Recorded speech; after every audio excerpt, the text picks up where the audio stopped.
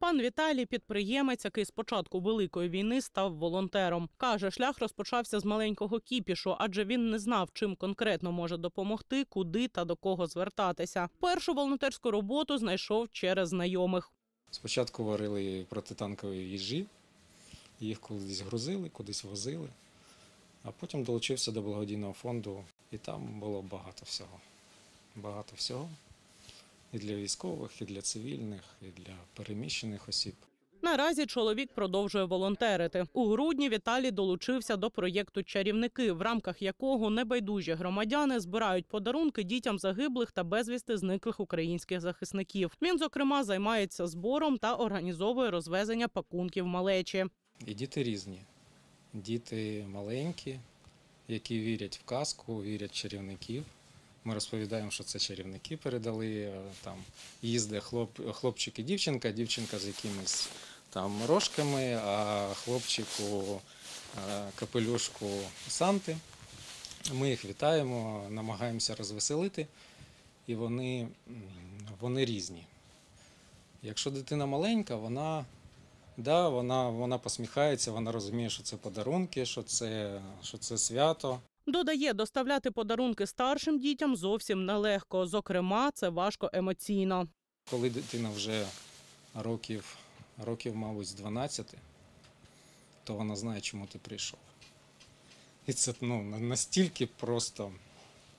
Е, І в цей момент, е, щоб у тебе не з'явились сльози, і ти не посмурнів якось перед ними. е, Треба себе контролювати і продовжувати просто співати пісеньки, розповідати вірші, вітати дітей, казати, які вони молодці, і від, е, е, їх заохочувати далі е, добре вчитися і дарувати їм подарунки.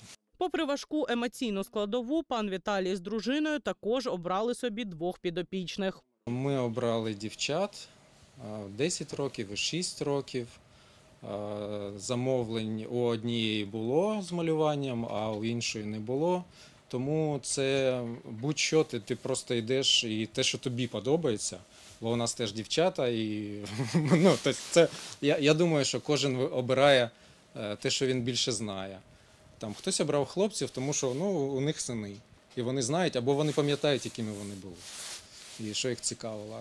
Пан Віталій каже, цьогоріч у списках понад 300 дітлахів. Їх волонтери шукають самі, орієнтуючись на списки, які надають військові. З батьками малечі зв'язуються, і ті, хто погоджується взяти участь у проєкті, вказують ім'я, вік та хобі дитини. У вас є номер дитини, е, ім'я і вік. Да? Потім додаються за цим номером е, прізвище мами і телефон, і район з адресою. Днів може 5 це розвозка, тому що ну, 5 машин, а районів більше, і воно займає багато бігати по поверхам.